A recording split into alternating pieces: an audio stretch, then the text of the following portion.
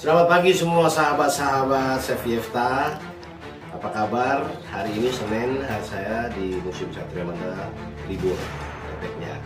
Terus saya tidak betah diam. Saya kembali masak. Saya lagi eksperimen sebelah resep saya ala Bandung ya, Jawa Barat. Ini kalian bisa lihat di sini bahan-bahannya saya sudah siapin ini kencur, ini bawang putih. Oke, nanti kalian jangan berpikir, wah gila Chef Yefta udah banyak duit. Belum, saya masih merintis kalau udah banyak duit yang saya cari orang yang bantu saya. Terus kedua, saya akan berbagi kepada kalian. Nah, ini proses kita goreng sambal dulu. Sambal kita goreng, terus kita pindahin dulu ke sini. Oke, kita mulai sekarang memasak seblak ala Bandung dari Chef Yefta. Tutup. Tutupnya sudah siap nah,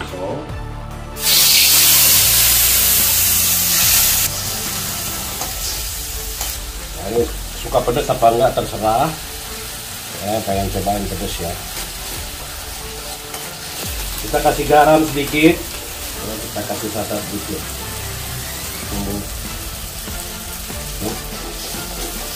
Dia merata. Ingin bakso Oke, kerupuknya. Dulu. Pun ala chef Yefta ini bisa dikasih ceker, macam-macam somai ya. Dan kalau ciri khas Bandung itu tidak ada sayurnya. Nah, baru kita ambil sayur pakai air kaldu yang sudah saya masak. Ya, kelihatan asoy.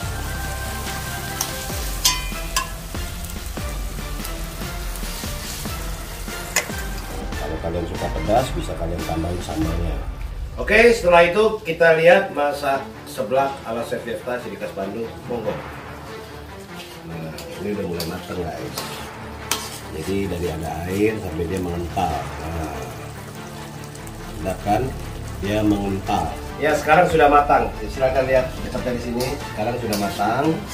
Kita matikan. Nah, jangan sampai dia eh, menjadi nempel-nempel ya ini udah jadi sebelah ciri khas Bandung ala chef Yefta airnya juga sudah mengental matang kita sajikan? Kita sajikan ya. Dan ini sudah matang ya sebelahnya silakan.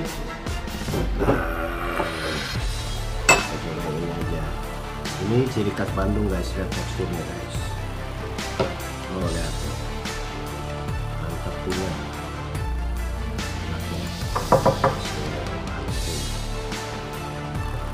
Seblak ciri khas Bandung by Chef Yefta. Pokoknya saya tetap kreatif dan inovatif. Duitnya memang belum kelihatan. Saya pernah belajar dari orang yang sudah jadi konglomerat. Dia bilang, kalau kerja itu jangan mikir duitnya dulu. Kerja aja dulu, pasti duitnya datang. Ini lagi saya terapin. Oke, di hari libur saya, hari Senin, saya masak seblak.